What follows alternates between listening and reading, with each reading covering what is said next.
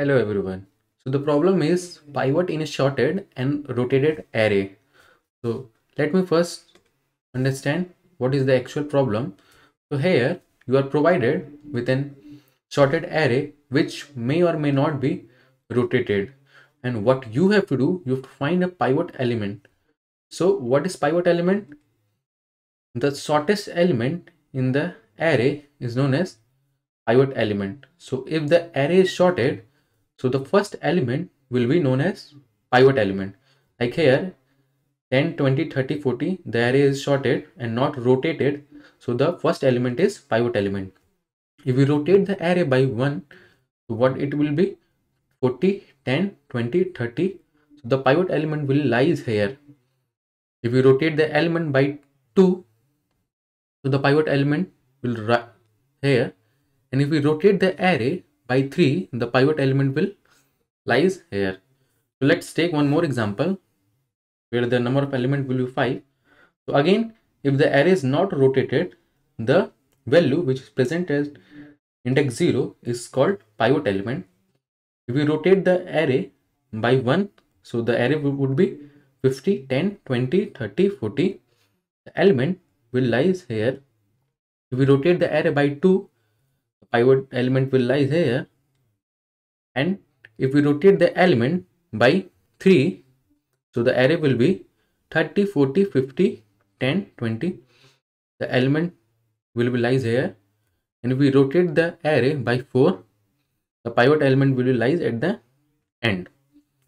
So the actual problem is you have to find this pivot element in log n time complexity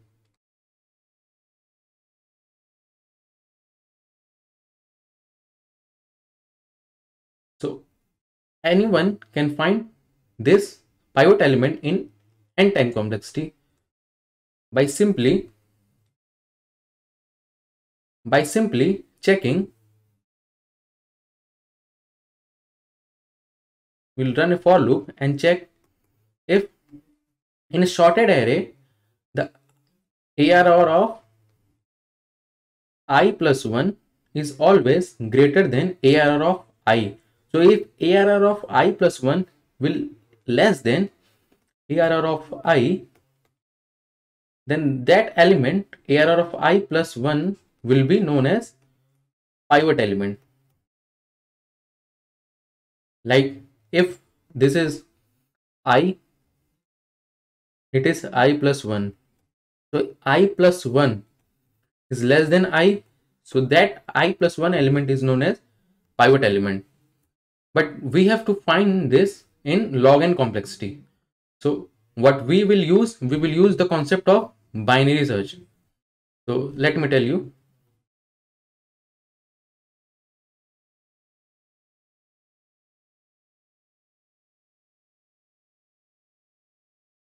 So here the mid value will be present here. Here the mid is here here the mid present here only. Here the mid is present here. Here the mid is present here. So check. If the high value is greater than mid value it means the pivot element lies in the left side of the mid. Again in this condition here is high the high value is greater than mid value. So again here the pivot element which lies on the left side of the mid. Now check here. Again high value is greater than mid. Again the pivot element will lies on the left side of the mid. Now this is the high value is less than here the mid is greater than high. It means the pivot element will lies on the right side of the mid. Again in this, here is high and here is mid.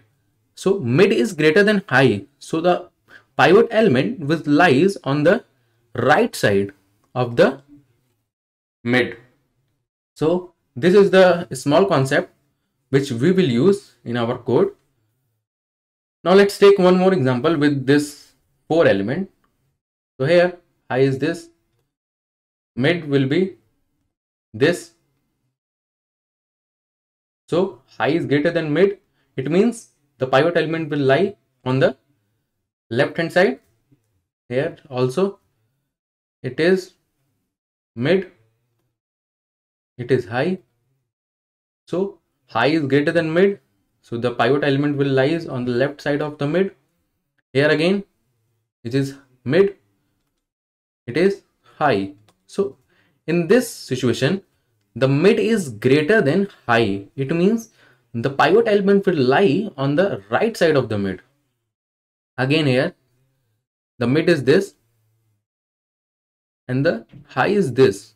Again mid is greater than high so here also the mid will be lies on the right side of the the pivot element will lies on the right side of the mid. So now let's write the code.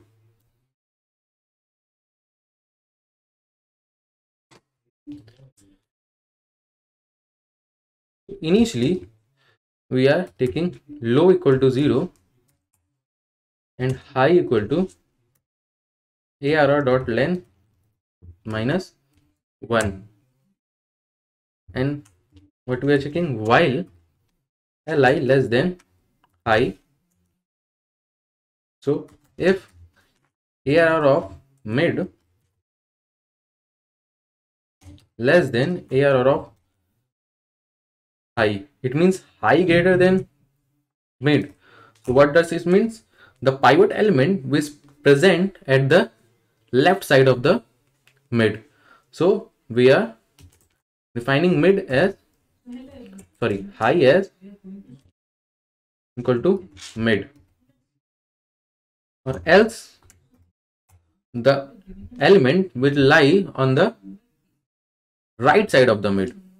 So low equal to mid plus 1 and in the end what we'll do? We will return. ARR of low high anything. Because at last it will low will be equal to high. And here we didn't find the mid so int mid equal to low plus high divided by 2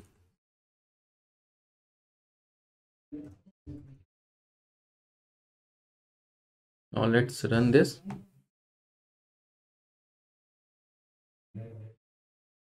accepted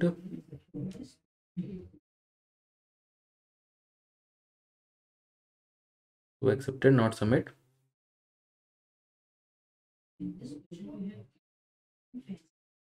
So i hope you understand this very well. So if you have any doubt you can comment it on the comment section. Thank you